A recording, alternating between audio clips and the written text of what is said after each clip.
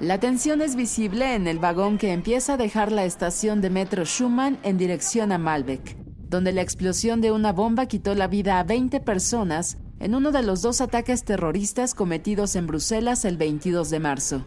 La línea que sirve Malbec, cruzando la capital belga de este a oeste y pasando por debajo de las instituciones de la Unión Europea y del gobierno belga, fue reactivada pocos días después de los atentados para permitir que la población retomase la vida.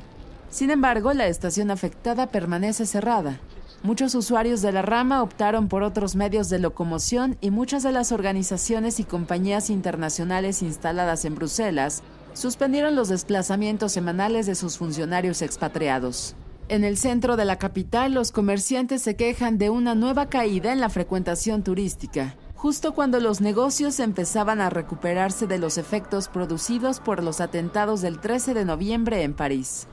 La Federación de Empresas, Comerciantes e Industrias belgas afirma que 10.000 empleos están amenazados. Además del miedo, una de las razones del abandono de la ciudad es la situación en el Aeropuerto Internacional de Saventem, blanco del primer ataque el 22 de marzo, las operaciones se limitan actualmente a 450 vuelos diarios frente a 650 antes de los atentados.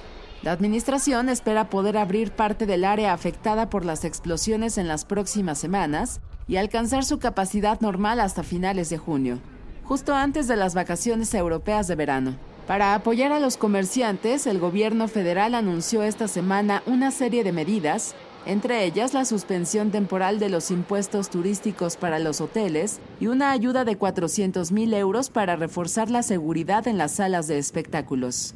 Con información e imágenes de Marcia Bizzotto, corresponsal en Bélgica. Notimex.